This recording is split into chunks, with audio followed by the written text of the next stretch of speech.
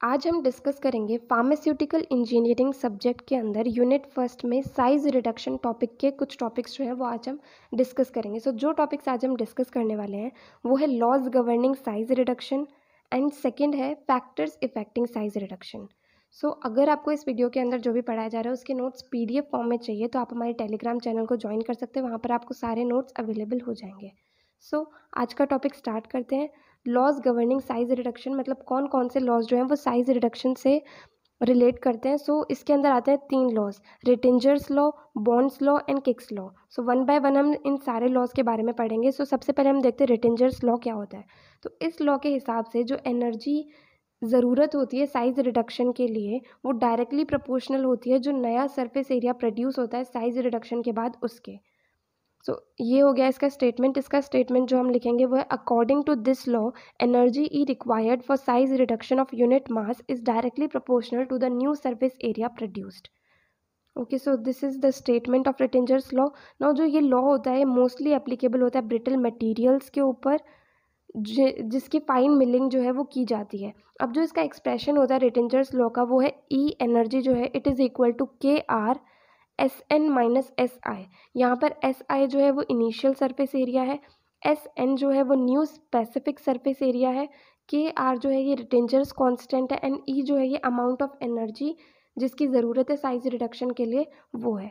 सो so, ये हो गया रिटेंजर्स लॉ नेक्स्ट आता है Bond's law so Bond's law क्या कहता है कि जो एनर्जी चाहिए होती है साइज़ रिडक्शन के लिए वो डायरेक्टली प्रोपोर्शनल होती है। जो न्यू क्रैक लेंथ प्रोड्यूस होती है उसके। सो so, इसकी स्टेटमेंट है according to this law the energy use in crack propagation is proportional to the new crack length produce so इस लॉ में ये बताया गया है कि जो एनर्जी यूज़ होती है साइज़ रिडक्शन के लिए इक्वलेंट शेप के पार्टिकल्स के लिए वो जो है वो प्रोपोर्शनल होती है जो नए पार्टिकल्स बने हैं उसके डायमेंशंस के डायरेक्टली प्रोपोर्शनल होती है। जो बॉन्ड स्लो होता है ये यूज़फुल होता है जब रफ मिल साइजिंग की जाती है उसके लिए जो है बॉन्ड स्लो ज़रूरी होता है।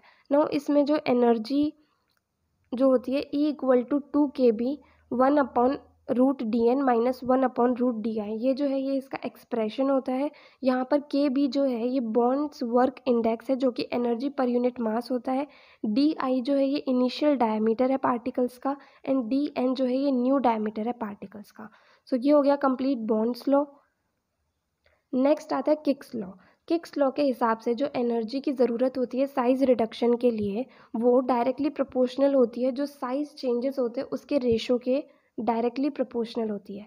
इसकी स्टेटमेंट है according to Kick's law the energy use in deforming और fracturing a set of particles of equal in shape is proportional to the ratio of size changes अब जो इसका एक्सप्रेशन है वो कुछ इस तरीके से E equal to K K L N D I upon D N यहाँ पर के के जो है वो किक्स कांस्टेंट है, ये एनर्जी पर यूनिट मास होता है। डी आई जो है ये डायमीटर है पार्टिकल का इनिशियल स्टेज में एंड डी एन जो है ये डायमीटर है न्यू पार्टिकल का। सो ये हो गए लॉज जो कि गवर्न करते हैं साइज़ रिडक्शन को। नाउ नेक्स्ट हम डिस्कस करेंगे फैक्टर्स इफेक्टिंग साइज़ रिडक्शन मतलब साइज़ रिडक्शन को इफ़ेक्ट करने वाले कौन कौन से फैक्टर्स होते हैं? सो so, हम यहाँ पर एट फैक्टर्स जो है वो डिस्कस करेंगे जो कि hard materials particle size hygroscopic materials melting point moisture content flammability elastic materials and fibrous materials इन सारे के सारे फैक्टर्स को हम एक एक करके डिस्कस करेंगे। सो so, सबसे पहले हार्ड मटीरियल्स जो है। ये किस तरीके से साइज़ रिडक्शन को इफ़ेक्ट करते हैं। तो हार्ड मटेरियल्स जो होते हैं, ये बहुत ज़्यादा हार्ड होते हैं तो इनका जो साइज़ को रिड्यूस करना वो थोड़ा मुश्किल हो जाता है तो इस तरीके से इफ़ेक्ट करते हैं। नेक्स्ट आता है पार्टिकल साइज़ तो पार्टिकल का साइज़ छोटा है या बड़ा ये साइज़ रिडक्शन को इफ़ेक्ट करता है। अगर पार्टिकल का साइज़ बहुत ज़्यादा छोटा हो गया तो अब हम उसे और ज़्यादा रिड्यूस कैसे करें? ये थोड़ी दिक्कत हो जाती है। और अगर पार्टिकल का साइज़ बहुत ज़्यादा बड़ा है तो उसे किस इक्विपमेंट के द्वारा उसके साइज़ को रिड्यूस किया जाए? इस तरीके से जो है पार्टिकल साइज़ इफ़ेक्ट करता है। नेक्स्ट आता है हाइग्रोस्कोपिक मटेरियल्स तो जो हाइग्रोस्कोपिक मटेरियल्स होते हैं, ये जिस भी इक्विपमेंट के अंदर इक्विपमेंट की मदद से इनका साइज़ रिडक्शन किया जाता है, उसके अंदर ये चिपक जाते हैं क्योंकि बहुत जल्दी मॉइस्चर को एब्जॉर्ब कर लेते हैं तो इस वजह से ये भी साइज़ रिडक्शन को इफ़ेक्ट करते हैं। नेक्स्ट आता है मेल्टिंग पॉइंट अगर मेल्टिंग पॉइंट जो है वो किसी भी ड्रग का या जो भी, जिसका भी हम साइज़ रिडक्शन कर रहे हैं, अगर उसका मेल्टिंग पॉइंट जो है कम होता है तो जब उसकी मिलिंग की जाती है, उस टाइम जो उस इक्विपमेंट के द्वारा हीट प्रोड्यूस होती है तो उस वजह से वो सब्सटेंस जो है वो मेल्ट हो जाता है एंड फिर उसका जो साइज़ रिडक्शन है वो बहुत ही मुश्किल हो जाता है। नेक्स्ट आता है मॉइस्चर कंटेंट सो अगर मॉइस्चर जो है वो ज़्यादा होता है उस ड्रग के अंदर जिसका हम साइज़ रिडक्शन कर रहे हैं तो वो इक्विपमेंट के चिपकने लग जाता है स्टिकी स्टिकी हो जाता है तो उसका साइज़ रिडक्शन जो है वो किसी दूसरे मेथड की मदद से किया जाता है। नेक्स्ट आता है फ्लामेबिलिटी फ्लामेबिलिटी मतलब उसके जलने का जो होता है तो कुछ कंटेंट्स जो होते हैं, कुछ मटेरियल्स जो होते हैं, वो एक्सप्लोजिव होते हैं। जो जल्दी से जो है वो आग जो है वो लगा देते हैं तो इस वजह से उन मटेरियल्स का भी बहुत ध्यान रखना पड़ता है।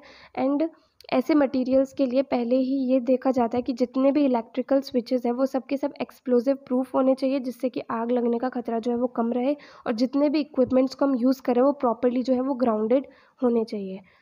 नेक्स्ट आता है इलास्टिक मटेरियल्स इलास्टिक मटेरियल्स कुछ सब्सटेंसेस जो होते हैं तो उनका जब हम साइज़ रिडक्शन कर रहे होते हैं तो वो सॉफ्ट हो जाते हैं एंड उनका जो साइज़ रिडक्शन है, वो कुछ अलग मेथड से हमें करना पड़ता है।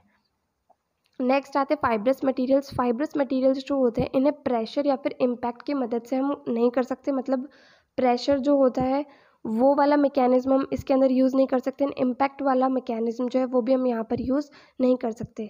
तो ये फाइब्रस मटेरियल्स बहुत ज़्यादा टफ होते हैं तो इन्हें जो है, जो कटिंग मेथड है, उसकी मदद से हम इनका साइज़ रिडक्शन करते हैं। तो ये सब फैक्टर्स है, जो साइज़ रिडक्शन को अलग अलग तरीके से इफ़ेक्ट करते हैं। सो so, यहाँ पर आज का टॉपिक जो है वो ख़त्म होता है। अगर आपको कोई भी डाउट हो इस वीडियो में तो आप कमेंट सेक्शन में पूछ सकते हैं और नोट्स के लिए आप टेलीग्राम चैनल को ज्वाइन कर सकते हैं। थैंक यू इस वीडियो को एंड तक देखने के लिए।